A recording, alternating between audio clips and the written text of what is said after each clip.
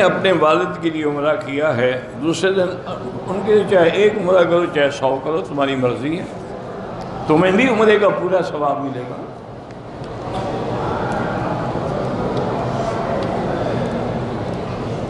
अगर मर्द या औरत ने उम्र कर लिया, लेकिन बाल नहीं काटे तो अगर मर्द ने कपड़े पहन लिए, क्योंकि औरत के तो और कपड़े होते ही नहीं ना अगर मर्द ने पाँच घंटे तक कपड़े पहने, बाद में बाल कटाए तो दम पड़ गई। औरत पे कोई दम नहीं।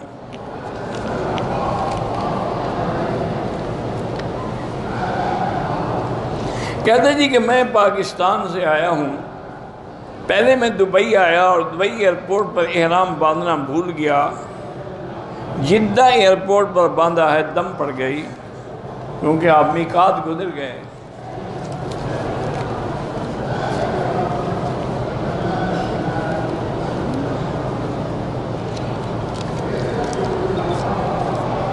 कहते जी कि मैंने तीन शादियाँ की हैं। मेरी पहली बीवी को तो मैं तलाक दे दी। दूसरी शादी की तो वो अपने किसी यार के साथ भाग गई।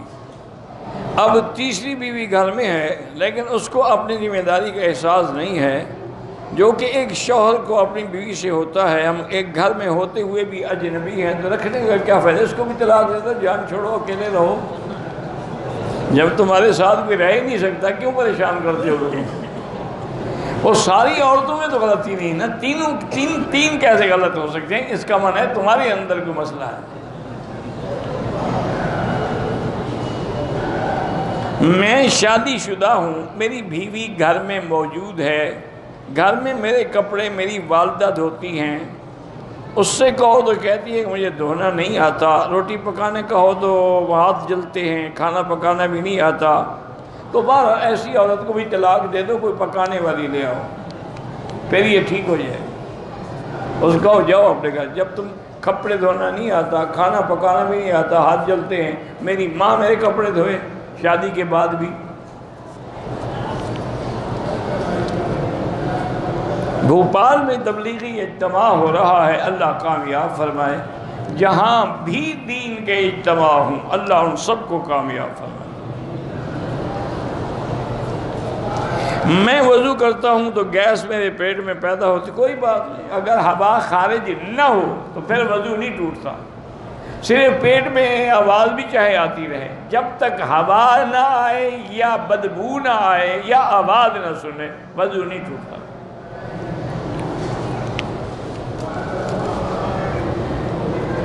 हम हरम में दौरान उम्र, एक मुसाफिर की हैसियत में जो नवाफिल पढ़ते हैं, पढ़ें तो आपकी मर्ज़ी है, और नवाफिल पढ़ना आपकी ज़िम्मेदारी नहीं है। फ़र्ज़ भी आप पर कसर है। बहरहाल, पूरी नमाज़ पढ़ने की इजाज़त नहीं है ना, मुसाफिर के लिए हुक्म है कि वो कसर पढ़े।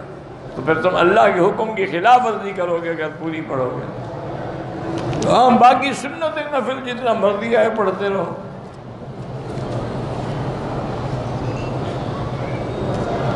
मुझे अच्छी तरह वज़ू करने के बावजूद भी रकू की हालत में पेशाब के कतरे निकल जाते हैं। बहरहाल, नीचे अपने कोई ना कोई पंपर वगैरह इस्तेमाल करें और हर नमाज़ के लिए निया वज़ू करें।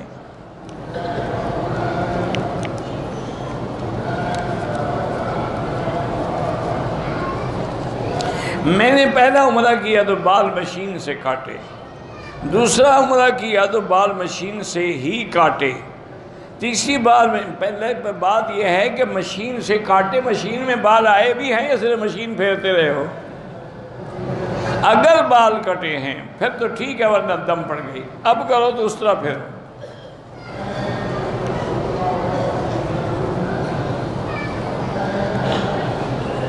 आज हमने उम्र किया, सफ़ा मलबा दौड़ रहे थे कि हम मलबा पे थे कि नमाज़ खड़ी हो गई, हमने नमाज़ पढ़ी, ठीक है? और क्या करते? हम 20 दिन के लिए आए हैं, पाँच दिन मक्का शरीफ में और 10 मदीना मनवरा में, पाँच मक्का, बारह जो नमाजें घर में पढ़ेंगे या आप अकेले पढ़ें, वो कसर पढ़ेंगे, क्योंकि आप मुसाफिर हैं।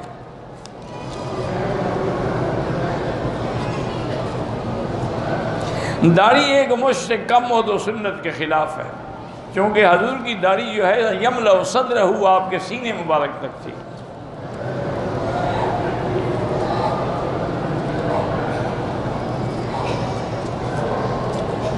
बहरहाल, अगर आपने असर की नमाज़ जो भी है, इमाम साहब ने मुल्तज़म के बजाय वो पीछे चले गया बारिश की वजह से तो उनके अगर आप आगे खड़े थे तो आपकी नमाज़ नहीं हुई।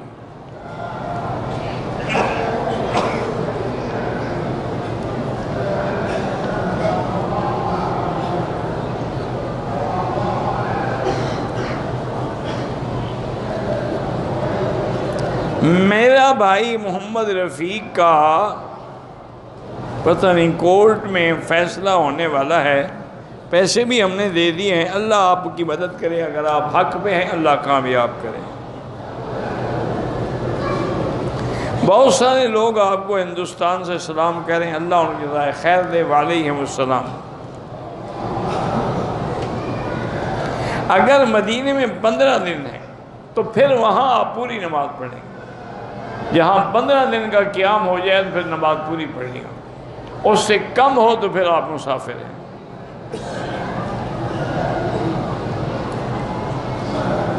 हर तवाफ सात चक्करों से एक होता है और हर तवाफ के बाद दो रकात पढ़ना वाजिब है। कसर नमाज़ में फ़र्ज़ के अलावा सुन्नत नफलें माफ़ हैं। पढ़े तो सवाब है फजर नमाज़ की सुन्नतें नहीं पढ़ी दिवाल के बाद पढ़ ली ठीक हो गया, कोई बात नहीं।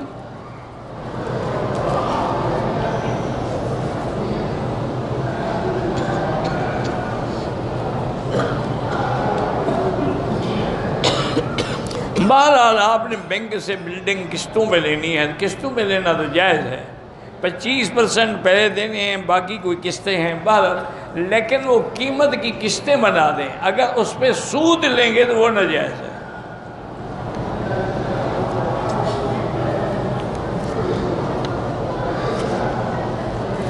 मेरी औरत को हैज़ का मसला है। तीन दिन से हैज़ आ रहे हैं। बहरहाल इंतज़ार करें। ये थोड़ा है कि जब हैज़ आना शुरू हो जाए, दवाई खा लो, बिल्कुल नहीं। उसकी जितने दिन आदत है, वो पूरी करें।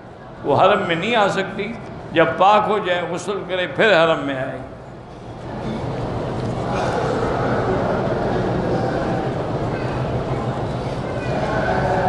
आपकी अहलिया फौत हो गई, अल्लाह उनकी मफरत फरमाए। बिल्कुल दुआ करें, अल्लाह मफरत फरमाए। अल्लाह मगफिर हा वरहम हा व अदखिल हा फिरदौस आला। आप दूसरी शादी करना चाहते हैं हाँ बिल्कुल चाहता हूँ।